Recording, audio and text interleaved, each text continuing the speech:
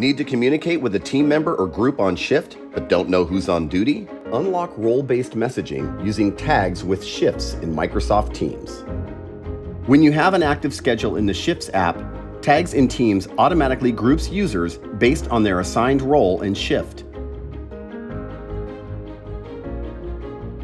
This team schedule has shifts for its sales floor associates and customer support specialists.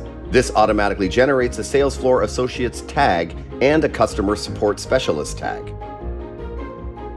When you use the sales associate tag to start a new group chat, everyone currently on that shift will receive your message. Active shift tag groups are updated when someone comes on shift or goes off shift, so only the members currently working are notified, ensuring a timely resolution. Collaborate smarter and faster with active shift tags in Microsoft Teams.